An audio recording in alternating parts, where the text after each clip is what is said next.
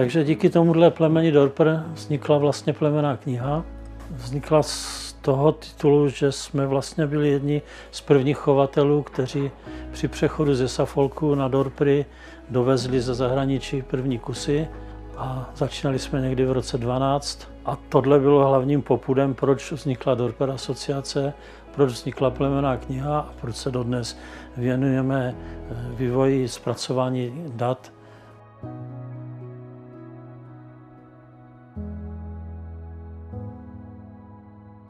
Plemená kniha je pro nás hrozně důležitý nástroj. V podstatě s ní pracujeme téměř denně, protože nám umožňuje orientovat se nejen v tom vlastním stádě, ale v celé populaci.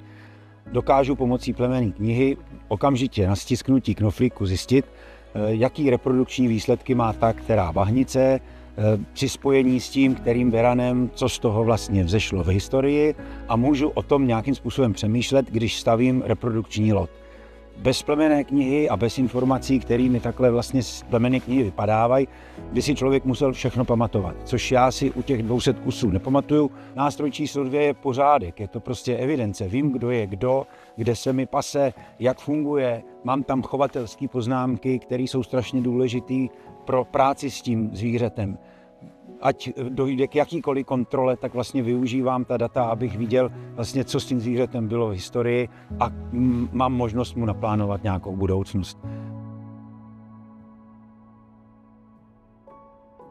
První verzi plemené knihy jsme začali vyvíjet v Microsoft Access systému, ale ta nám zhruba po dvou letech přestala vyhovovat už jenom z toho důvodu, že jsme chtěli, aby eh, byla plemená kniha Dorper sdílená.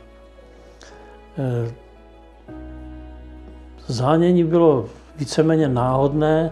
Objevili jsme FileMaker a různýma poměrně i složitýma cestama, kdy jsme záněli někoho na konzultace, na poradu, jsme se dostali eh, ke společnosti 2 4 se kterou spolupracujeme dodnes. Spolupracujeme s ní rádi a doufáme, že zůstaneme u té spolupráce, protože to přináší svoje ovoce v tom, že eh, využitím aplikaci tohoto systému eh, šetříme velkou spoustu pracností.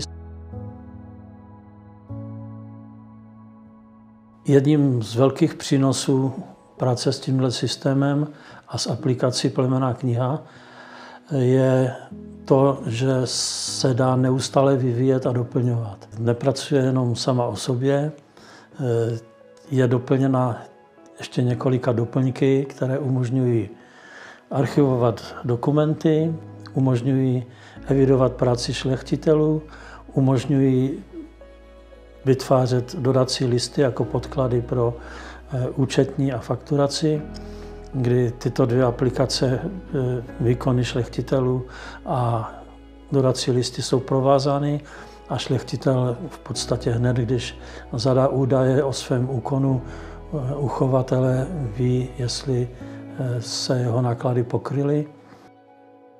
K uživatelskému komfortu přispívá navíc možnost používat aplikaci plemené knihy na prostředcích, jako je mobilní telefon, tablet, anebo na jakémkoliv webovém prohlížeči.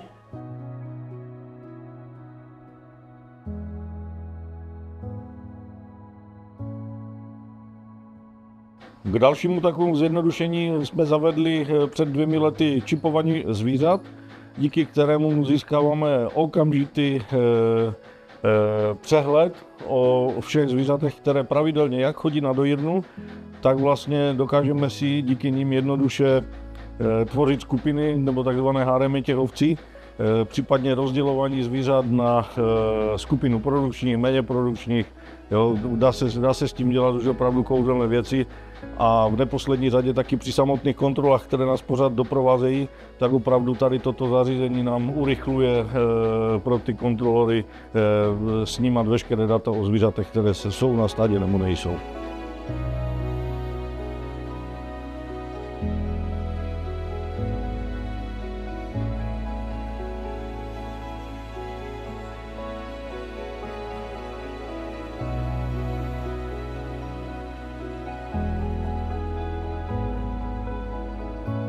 Je důležité hledat systémy, které nám umožňují a urychlují eh, kontrolu nad celým tím stádem, eh, veškerou evidenci a eh, samozřejmě úkony, které se provádí. Díky této plemené knize se nám zjednodušilo a zrychlilo veškeré dění a kontrola nad celým stádem.